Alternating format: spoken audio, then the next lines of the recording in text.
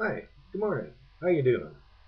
My name's Tim, and yesterday I went out and I bought Van Halen's new CD. Yes, Van Halen. A different kind of truth. Uh, brand new CD that just came out, released yesterday at your record stores. And my review on it, it's mediocre. Uh, the, their, the only track I really, really enjoyed was uh, their head on their tattoo. That's that's great. The rest are mm, mediocre. You know, they still got the same uh, taste in their music. They haven't lost it. They're still a good rock band. Glad that they came out with a brand new CD. Lead singer David Lee Roth, he's back in the band. It's been a long time since they've had a CD come out. Wow, been a long, long time. Hopefully, they will continue doing more.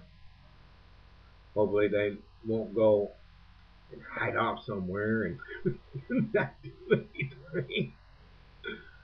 I'm glad that they're doing their world tour I hope a lot of you get out there and check them out when they're in your hometown or close by.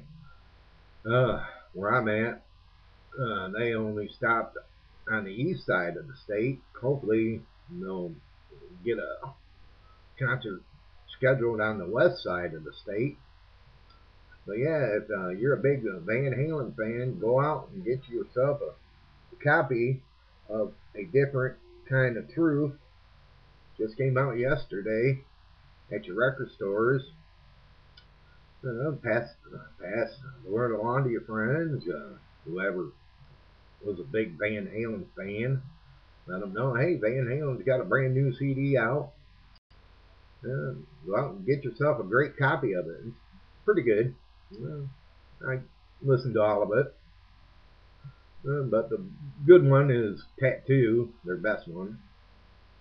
Their release one song out from the CD. The rest are mm, mediocre. Okay, so well, that's what I wanted to let you all know. So, y'all have a good one. Take care, and have a good day.